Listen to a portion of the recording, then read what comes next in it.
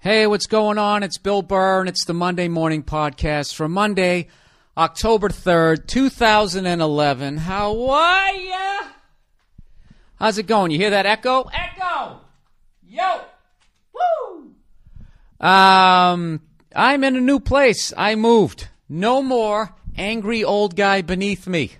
I'm in a new place, and uh, it's sparsely furnished. I'm sitting in an old chair, so it's going to be creaking a little bit during the podcast. I actually got out of it because I just realized that sonically that could be a little annoying. Um, yeah, moved to a new place, little bigger, little better, right? The American dream still existing. You know, instead of taking giant leaps, you take little steps, little baby steps. Ooh, look at that. The kitchen's a, it's about six inches bigger. Um, no, I'm psyched. First time in my fucking life I don't have some cunt living below me or above me. So you know what that means. All I gotta do is piss off my neighbors, and I think I'll be all right. No, we got we got a nice place, so we're psyched. My girl's happy, which is a great thing. As a guy, you know that's a great thing. You know, you get something new and shiny, and what? And then and then they're happy, and then your life is great. That's all you want. You just want them to be happy. Maybe if they're happy, they'll stop fucking bitching at me. Stop going. Maybe that'll stop. You know? But you know how broads are. You know how they are. No matter how cool they are, how fucking hot they are, eventually they find something.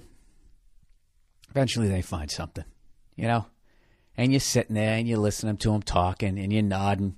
You're nodding your head. Uh huh. Yeah. Yeah. Okay. Yeah. I'll work on that. Yeah. Definitely. I'll work on that. And in your head, you're just sitting there going, like, really? Really? It's fucking unreal. I swear to God. I swear to fucking God. I was talking to Paul Verzi about this the other day. We were on the phone joking about this shit. Going, I bet Donald fucking Trump gets nagged. You know? Sitting there looking out the fucking helicopter window that has his goddamn name on it, right? And his fucking wife is probably sitting next to him. If he's even married, whatever, his fucking girlfriend.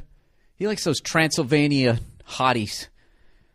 That Olga kind of chicks, whatever. He's just staring out the window of his fucking chopper, right? Just fucking sitting there, shaking his head. You know, whole head moving, toupee sitting still. You know, right on top of his head on a swivel. Right? And she's just fucking sitting there nagging him. You know, I just thought you could have been a little more social. It's like I was having th- those are my friends, okay? Those are my friends. Those people are important to me. The same way you are, okay? You have to accept all of me. Donald, stop looking at your skyscrapers. I'm talking to you here. This is us, okay? I just, ooh, you're the Don. You have a hit show, okay? This is us, okay? This is your foundation.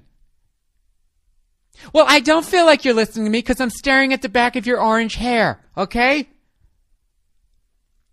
Okay, I'm sorry. I know hair is sensitive to you. It's just I'm I'm I'm emotional right now, and I I and I felt that when I was going to invite my friends over, and you right, and then they go into that shit.